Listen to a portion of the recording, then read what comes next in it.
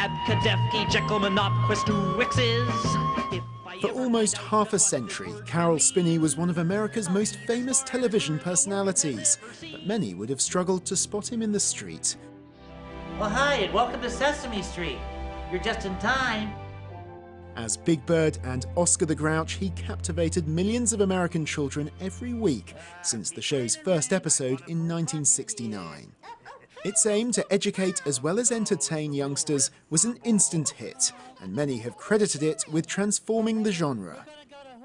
I got wonderful letters from children saying, Dear Big Bird, you're my friend. Please come and uh, play with me. How about next Thursday? that was a great beauty. Sunny day, sweeping up. The show's success saw it being broadcast across the globe. It won plaudits for the way in which it championed diversity and inclusion. It was an interracial cast. They lived in harmony. Race was not an issue. It taught us, it set an example. It taught us by example while also specifically teaching us with lessons. Wow, did I just hear right? The First Lady eats seeds? Well, Big Bird. well, I love seeds. Spinney's incredible work ethic, which saw him still performing well into his 80s, led to recognition from his peers.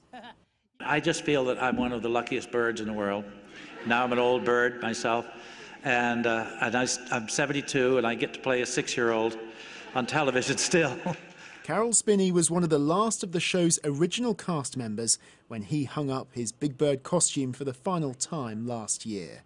But his talent, creativity, and unmistakable voice will be remembered by millions of children and adults around the world for years to come.